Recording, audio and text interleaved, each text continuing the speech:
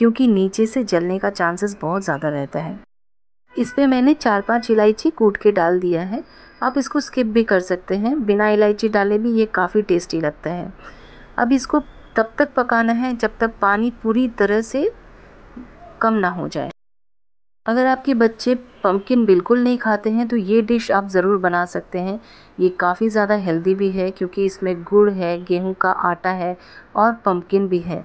जिसे काफ़ी स्टेट्स में कुमड़ा या भोपले के नाम से भी जाना जाता है। अब आप देख सकते हैं, पानी सूखने लगा है।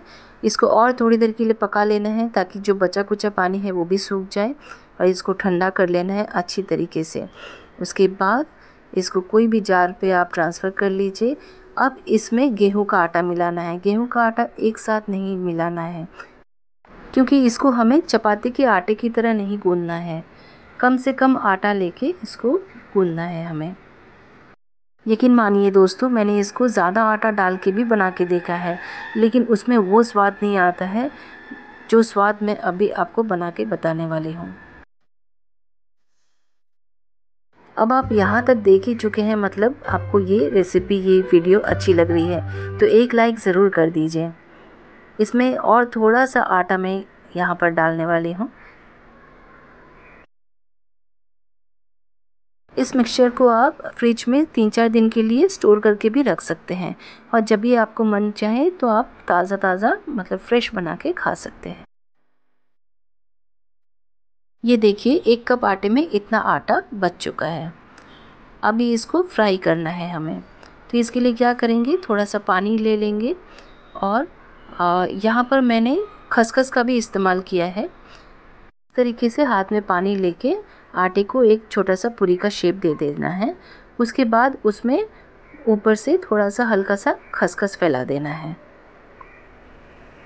खसखस इसलिए डालते हैं क्योंकि जब फ्राई होके आता है तो बहुत ही ज़्यादा टेस्टी लगता है।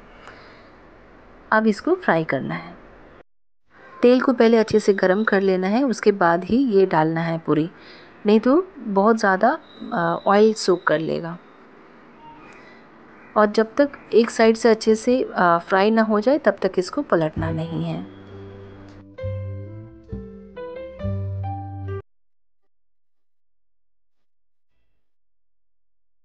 अब आप देख सकते हैं, ये अच्छे से फ्राई हो चुका है तो इसको निकाल लेंगे और टिश्यू पेपर में रख देंगे, ताकि जो एक्स्ट्रा ऑयल रहेगा, वो सोक कर लेगा।